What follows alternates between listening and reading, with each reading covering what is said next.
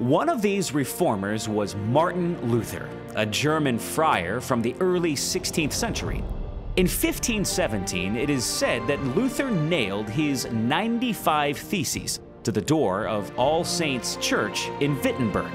These 95 revolutionary ideas served as the catalyst for an eventual breaking away from the Catholic Church and were later instrumental in forming the movement known as the Protestant Reformation.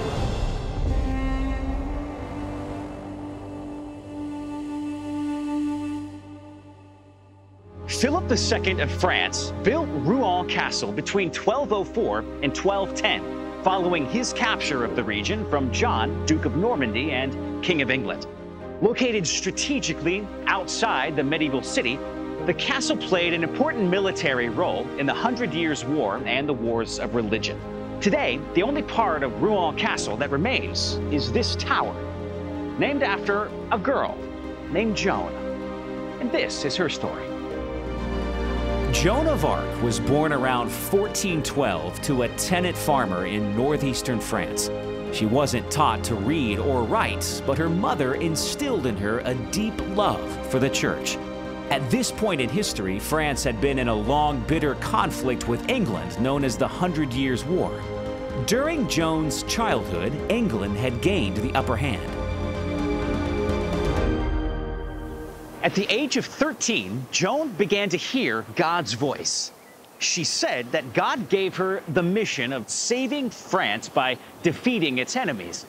She also believed it was her divine duty to see an embattled crown prince named Charles installed as its rightful king.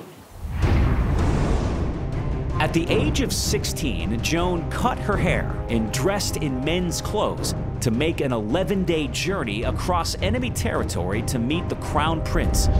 Joan promised Charles she would see him crowned King of France and asked him to give her an army to lead to the city of Orleans, then under siege by the English.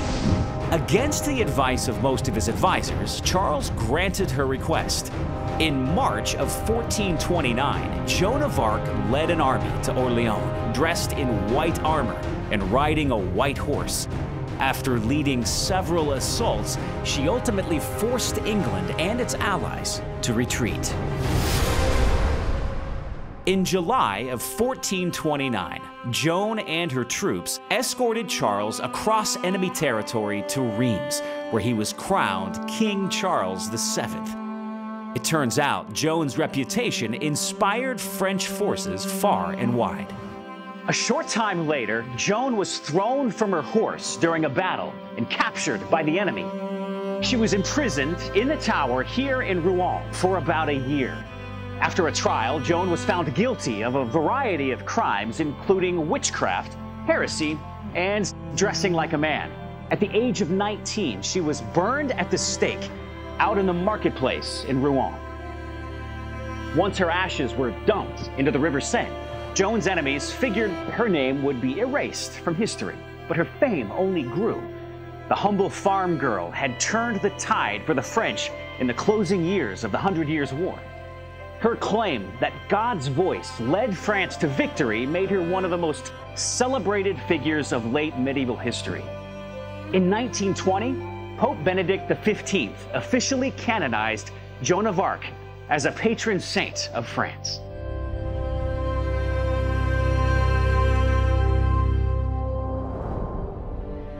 While Northern Europe is known for military figures in Christian history, such as Charlemagne, Olaf, and Joan of Arc, the region also has a rich history of Christian reformers.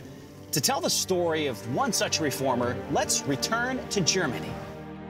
One of these reformers was Martin Luther, a German friar from the early 16th century. In 1517, it is said that Luther nailed his 95 Theses to the door of All Saints Church in Wittenberg. These 95 revolutionary ideas served as the catalyst for an eventual breaking away from the Catholic Church and were later instrumental in forming the movement known as the Protestant Reformation. Martin Luther was one of the primary reformers from the early 16th century. But there were other important voices from Northern Europe at that time, including Ulrich Zwingli and John Calvin from Switzerland. The basic motivation underlying the Protestant Reformation was to separate the gospel of Jesus Christ from the institution of the Catholic Church.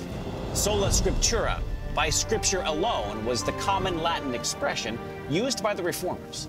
The Catholic Church ultimately responded with a counter Reformation initiated by the Council of Trent in 1545. In the end, Northern Europe, with the exception of most of Ireland, became Protestant, while Southern Europe remained Catholic.